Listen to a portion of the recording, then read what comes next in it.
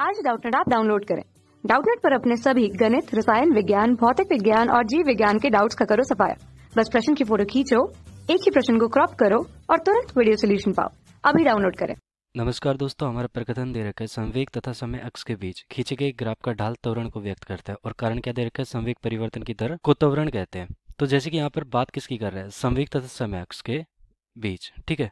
तो कुछ इस प्रकार यहाँ पर मैं क्या ले लेता हूँ? एक तरफ़ संवेग ले लेता हूँ, एक तरफ़ मैं यहाँ पर संवेग ले लिया और एक तरफ़ मैं समय ले रहा हूँ, ये समय। और कुछ हमारा यहाँ पर वक्र कुछ इस प्रकार है ये, ठीक है? ये वक्र है हमारा। तो एक तरह से ये हमारा, अगर मैं कहूँ कि इसकी ढाल क्या होगी? ढाल बराबर हमारा क्या होगा? वाई बटा एक्स मतलब कि संवेग बटा समय। संवेग बटा समय। तो एक तरह से मैं इसको क्या बोल सकता हूँ? इस वाले वाक्य को, पूरे को। ये कहलाएगा हमारा संवेग में परिवर्तन की दर, ठीक है?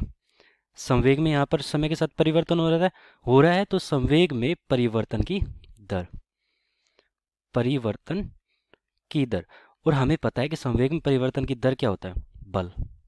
ये बल को प्रदर्शित करता है, ठीक है? इसकी ढाल, जो कि हमारी ढाल कहलाएगी यहाँ पर। तो इसकी ढाल हमारी इस वक्र की क्या कहलाएगी? बल, ठीक है?